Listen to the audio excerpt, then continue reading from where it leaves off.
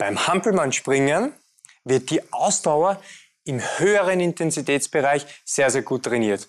Ausgangsposition einnehmen, jetzt dann die Bewegung ausführen.